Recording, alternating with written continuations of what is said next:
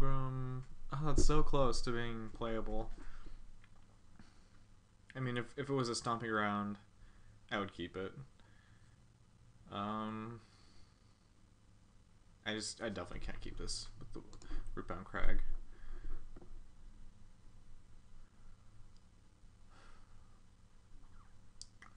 So winning this is going to be difficult now.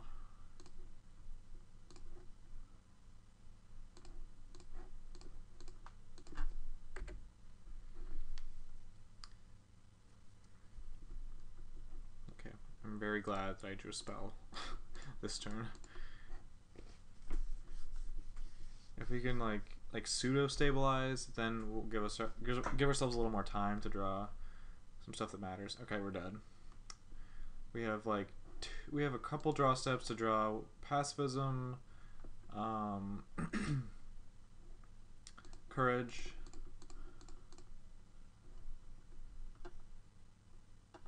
Um, racing is impossible, I think.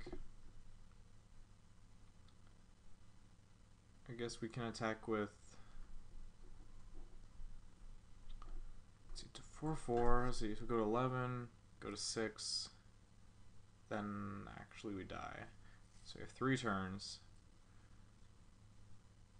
I guess that means that the two points, if we attack with this, the two points of his don't really matter. So, oh, I forgot to give haste. Alright, that's okay.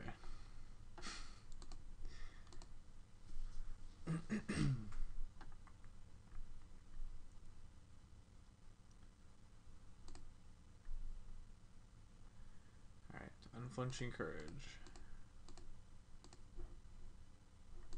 Alright.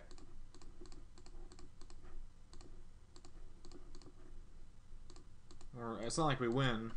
Just gives us a chance. Now pacifism. Oh, he's even stuck on land. So we're taking seven, going to six. Brings him up to 8 power. Puts us at 2 next. Oh, alright, we lose. That's pretty lucky, but you know, what are we gonna do? Mulligan to 5. Woo!